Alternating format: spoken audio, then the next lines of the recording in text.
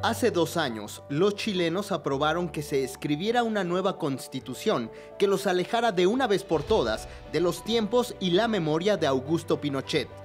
Este domingo, con el 62% de los votos de un nuevo plebiscito, rechazaron de manera democrática y contundentemente esa nueva Carta Magna que fue redactada en los últimos meses por una convención constituyente que ellos mismos seleccionaron.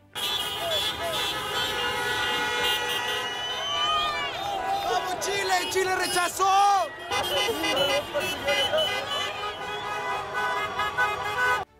En cuanto el resultado fue conocido, el presidente del país, Gabriel Boric, se dirigió a la nación para ofrecer continuidad al diálogo constituyente que esta vez complazca las necesidades de todos los ciudadanos.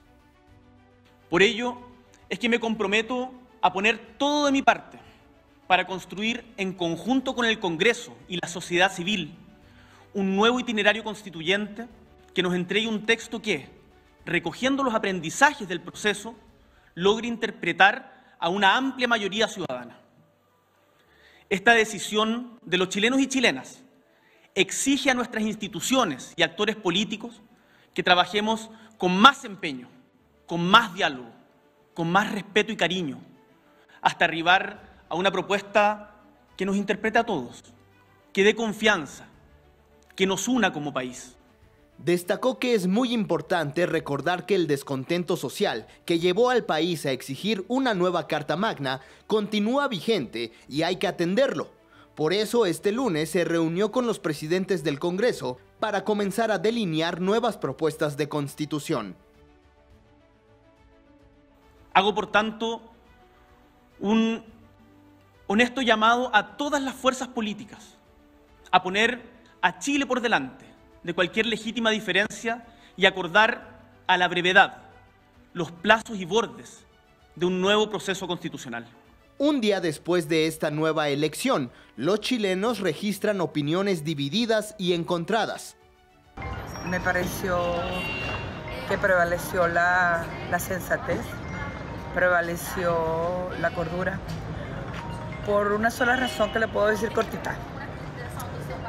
Eh, un borrador de constitución, porque no es la constitución, pero un borrador para la constitución hecha bajo rabia, bajo, bajo esas tensiones fuertes entre una división.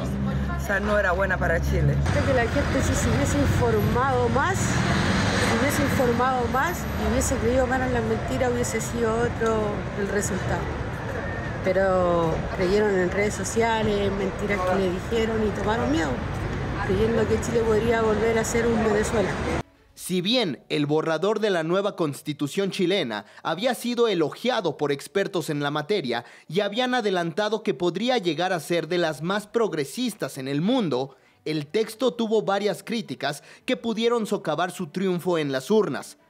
El calificativo de Estado plurinacional fue cuestionado por muchos y asociado el término con la división del país. Pero además, la redacción respecto a los derechos indígenas, el derecho al aborto, la reelección presidencial y el sistema judicial fueron de los temas que más causaron discusión y polémica.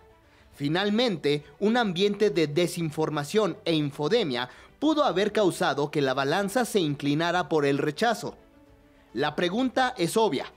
¿Qué sigue para Chile? Como lo adelantó el presidente, podría haber una nueva convención constitucional y un nuevo borrador.